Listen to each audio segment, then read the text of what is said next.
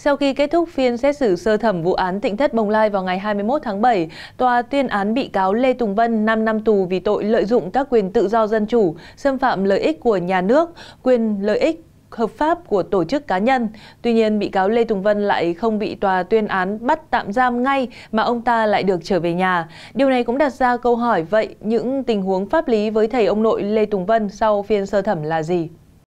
Theo nội dung bản án, ông Lê Tùng Vân 90 tuổi là người chỉ đạo điều hành, phát triển điểm tu tại gia của bà Cao Thị Cúc thành tỉnh thất Bồng Lai, sau đó đổi tên thành Thiền Nam bên bờ vũ trụ. Ông Vân cũng là người có vai trò tổ chức chỉ đạo các bị cáo còn lại lập, quản lý, sử dụng, đăng tải trên các kênh YouTube. Chính bị cáo Vân là người duyệt để đăng các clip có nội dung vi phạm pháp luật lên các trang mạng xã hội. Hành vi của các bị cáo đã xuyên tạc xúc phạm đến uy tín danh dự của công an huyện Đức Hòa, Giáo hội Phật giáo Việt Nam tỉnh Long An và cá nhân ông Trần Ngọc Thảo, tức Thượng tọa Thích Nhật Từ, phạm vào tội lợi dụng quyền tự do dân chủ, xâm phạm lợi ích nhà nước, quyền lợi ích hợp pháp của tổ chức cá nhân.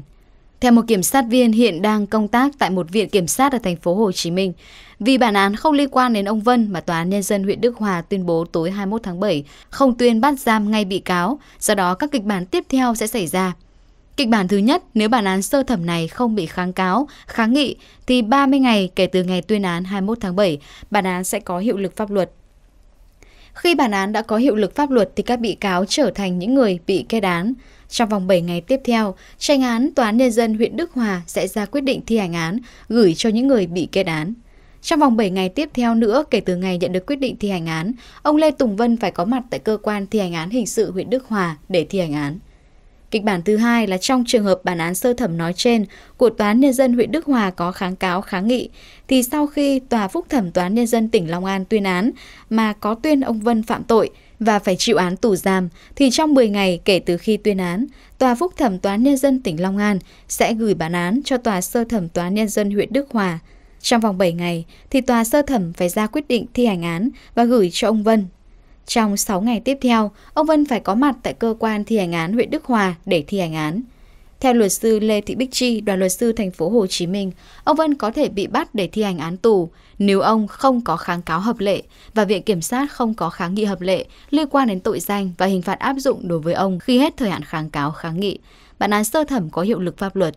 Việc chấp hành án phạt tù đối với ông Vân trong trường hợp này được thực hiện theo quy định tại khoản 1 điều 23 Luật thi hành án hình sự 2015. Nếu ông Vân có kháng cáo hợp lệ hoặc viện kiểm sát có kháng nghị hợp lệ liên quan đến tội danh và hình phạt áp dụng đối với ông Vân, thì lúc này bản án sơ thẩm chưa có hiệu lực pháp luật và phải đợi kết quả xét xử phúc thẩm. Ông Vân chấp hành tốt các cam đoan về áp dụng biện pháp ngăn chặn cấm đi khỏi nơi cư trú thì sẽ được tiếp tục áp dụng biện pháp này cho đến khi có bản án phúc thẩm. Nếu bản án phúc thẩm vẫn tuyên ông Vân có tội và áp dụng hình phạt đối với ông Vân, thì căn cứ theo quy định tại khoản 2, điều 347 Bộ luật tố tụng hình sự 2015, Hội đồng xét xử cấp phúc thẩm có thể ra quyết định bắt tạm giam ông Vân ngay sau khi tuyên án. Trường hợp ông Vân không bị bắt tạm giam ngay sau khi tuyên án, thì việc chấp hành án được thực hiện như đối với trường hợp án sơ thẩm có hiệu lực đã nêu ở trên. Trừ trường hợp ông Vân được khoản thi hành án theo quy định tại Điều 2425 Luật thi hành án hình sự 2019.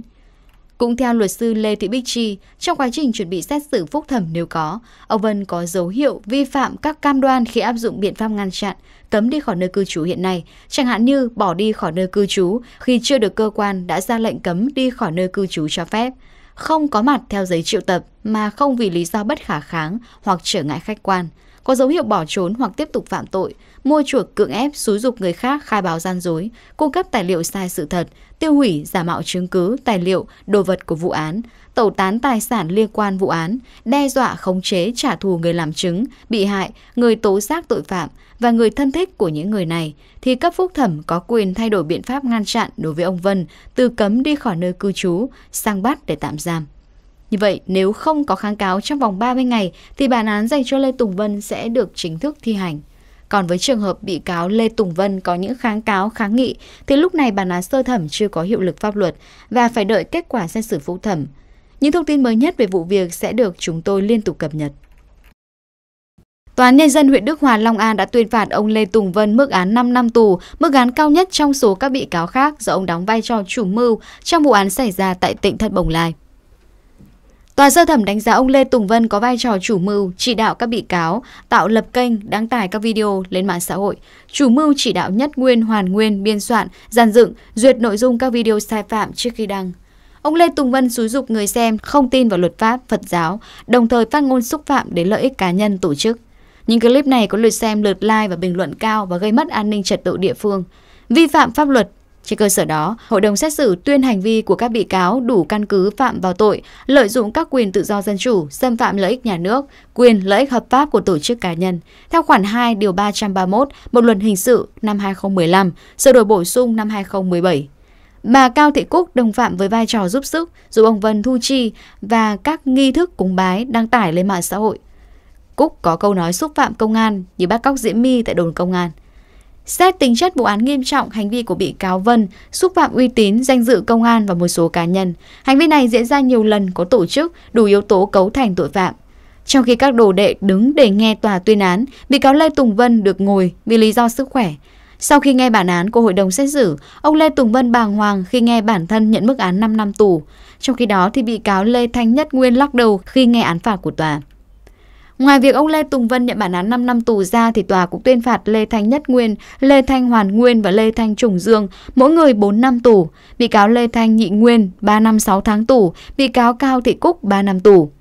Và như đã đưa tin thưa quý vị, năm 2016 thì ông Lê Tùng Vân và các đồng phạm đến ở tại số 191A, ấp Lập Thành, xã Hòa Khánh Tây, huyện Đức Hòa, Long An, do bà Cao Thị Cúc làm chủ hộ. Ông Lê Tùng Vân đã biến nơi đây thành cơ sở tu tại gia lấy tên là Tịnh Thất Bồng Lai, sau đó đổi tên thành Thiền Nam bên bờ vũ trụ. Mức án được đưa ra, những người sai phạm của nhóm người tại tỉnh Thất Bồng Lai đã phải trả một cái giá thích đáng. Và đây sẽ là bài học lớn cho những phát ngôn lộng hành sai sự thật trên các trang mạng xã hội, gây ảnh hưởng xúc phạm lợi ích cá nhân tổ chức.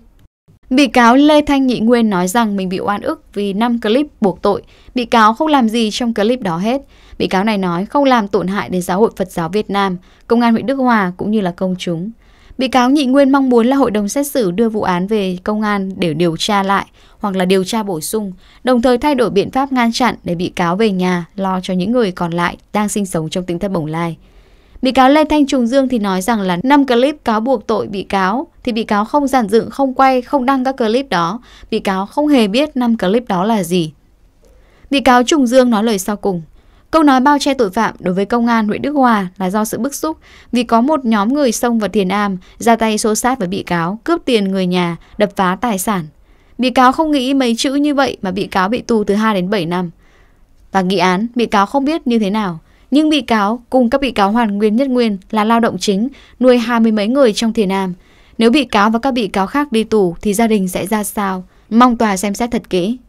Còn bị cáo Lê Thanh Nhất Nguyên nói, gia đình chúng tôi bị công an huyện Đức Hòa tác động trực tiếp ảnh hưởng đến gia đình, vì giáo hội Phật giáo tấn công chúng tôi trong thời gian dài.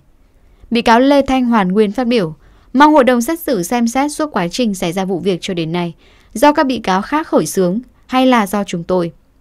Bị cáo Cao Thị Cúc cho rằng bản thân không biết gì về mạng Internet mà buộc bị cáo phạm tội là không đúng. Bị cáo Cúc nói lời sau cùng. Tội nghiệp cho bị cáo, bị cáo phải săn sóc mấy chục người trong thiền am. Trong khi đó, bị cáo Lê Tùng Vân cho rằng mình không phạm bất cứ một tội danh nào của pháp luật Việt Nam. Thẩm phán chủ tọa phiên tòa Nguyễn Khắc Linh Duy, đại diện hội đồng xét xử cho biết, hội đồng xét xử ghi nhận đầy đủ lời nói sau cùng của các bị cáo cùng ngụ tỉnh Thất Bồng Lai và tuyên bố chuyển qua giai đoạn nghị án. Sau hàng loạt những bằng chứng, những đoạn video cho thấy rõ hành vi phạm tội, các bị cáo vẫn kiên quyết chối tội. Nhưng dù có dùng thủ đoạn và lý do, bị cáo Lê Tùng Vân và nhóm người tại tỉnh Thất Bồng Lai cũng chia nhau mức án 23 năm tù cho những sai phạm gây rúng động dư luận trong suốt thời gian qua.